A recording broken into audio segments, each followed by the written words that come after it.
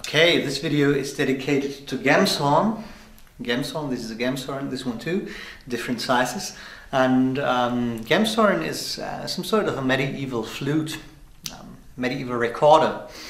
Uh, it's got uh, one octave tonal range and um, the sound is very mellow because technically it's a, an, an ocarina flute, so that means um, it is closed up here if you look at it, uh, this is where you blow, um, but it is not opened at the bottom, uh, so it makes a very mellow sound, very sweet sound.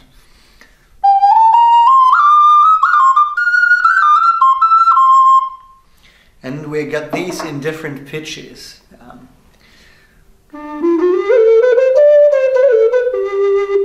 I'll make a separate video file to each of them later, um, but first of all, I'd like to show you that uh, so to say we cater for all tastes. this is sub bass.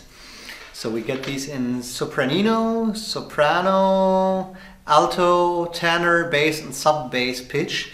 Um, always tuned to C or F, um, like you do with the recorder ensemble. Um, the origin of these instruments is uh, European. Uh, so you got um, originals, for example, one piece made of clay is found somewhere in Italy. It was made in the 15th century. And um, there's other pieces, which are not complete, unfortunately, found uh, in several other places, also in Germany, for example.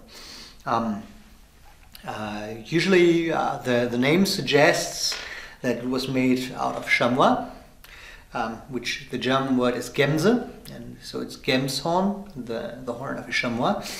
Um, but uh, actually there is no original horn being found made of uh, chamois or Gemse.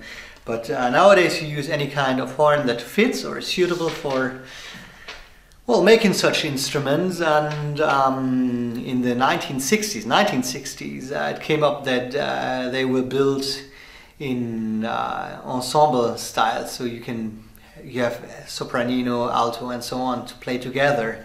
And um, in the middle ages that was not.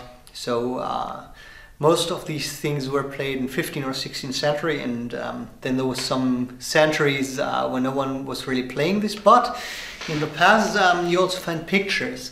For example there is one important book uh, historical book um, made um, by music scientist Sebastian Virdung in uh, 16th century and it's called Musica getutscht which means like uh, German music and uh, that shows uh, the death playing uh, one of these horn recorders.